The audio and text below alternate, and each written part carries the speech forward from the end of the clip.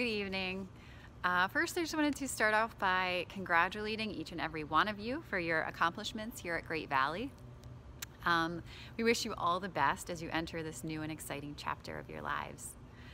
Uh, tonight, I wanted to honor and recognize a student who has not only excelled in my classes, but also demonstrated ambition and curiosity for the content area.